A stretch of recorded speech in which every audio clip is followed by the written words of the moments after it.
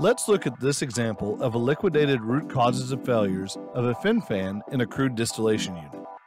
One day, the COMPACS system informed operators that the technical state of all operating air coolers worsened and became unacceptable.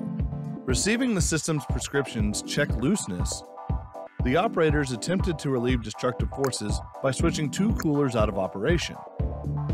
This improved the condition of other machines. On the system's trend mode, we can see that the situation appeared several times, and each time the operators successfully avoided the issue in the same way. After a while, the fifth air cooler reached an unacceptable state, and the operators' attempt to improve the fin fan's health by switching the two closest machines off failed.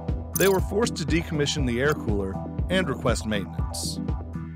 Using the system's analysis mode, the maintenance team figured out that many harmonics in the frequency range of 5 to 12 Hz appeared in the displacement spectrum. This is evidence of evolving looseness. The maintenance team tightened bolts on the cooling pad and enhanced stiffness of that structure. Eventually, the vibration dropped dramatically and became eight times less.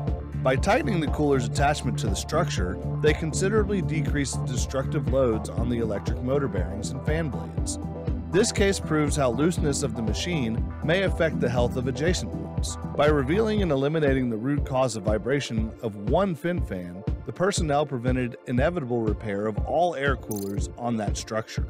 Only early diagnostics can prevent failures while reducing maintenance costs and extending operation of a process unit.